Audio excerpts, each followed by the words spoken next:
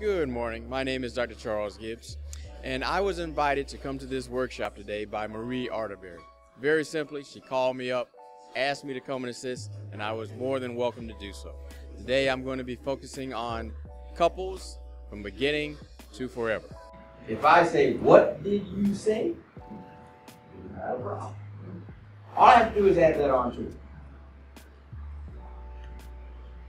But again, with conflict, the goal should be what kind of solution are we striving to? Not again, not to win, but what's the solution that's going to help us? And again, it's just understanding each other. Understand that when someone is upset,